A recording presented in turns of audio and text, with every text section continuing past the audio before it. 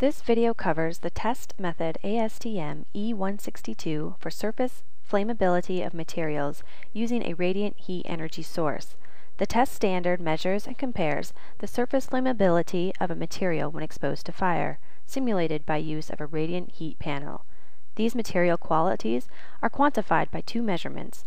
The flame spread factor, a measurement of the rate at which the material propagates flames, and the heat evolution factor, a measurement of the amount of fuel the material contains. These are combined to determine the radiant panel index, which can be used as part of an overall assessment of fire hazard in a building or structure.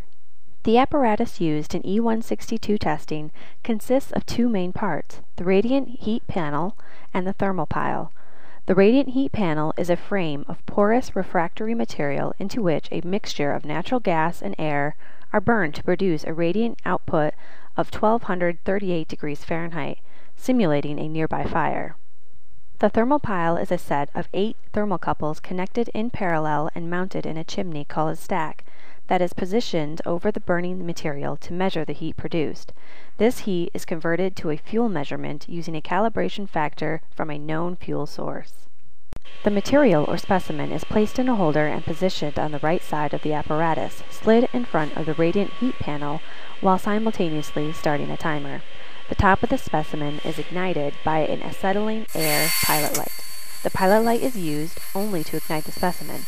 The radiant panel provides the necessary additional heat to encourage the flame front to move down the specimen face. The thermopile records the temperature during the entire test, and the maximum increase is used in calculating the heat evolution factor. The time for the flame front to move between 3-inch increments down the face is used to calculate the flame spread factor. The specimen rests at a 30 degree angle to the radiant panel, making the bottom further from the heat source, typically causing the flame front progression to slow.